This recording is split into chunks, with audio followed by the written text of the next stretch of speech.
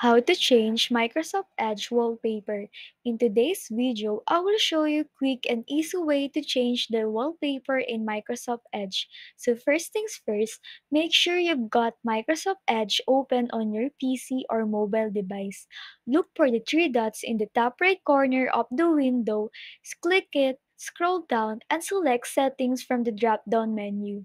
Once in Settings, you will see a menu along the left-hand side. Click on Appearance, which is where all the customization options for Edge are located. Under Appearance, you will see options to select either light mode, dark mode, or pick from custom themes like colors or patterns. Selecting one of these themes automatically changes the look of your new tab page, including the background.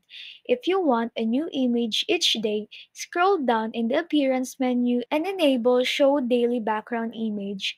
This will set the wallpaper to Bing's daily background, which updates with a fresh photo every day. Once you have chosen a theme or a background option, open a new tab to see how it looks in action. The new background should display immediately. That's it. If you found this video helpful, don't forget to like and subscribe for more tech tips. Thanks for watching and see you in the next one.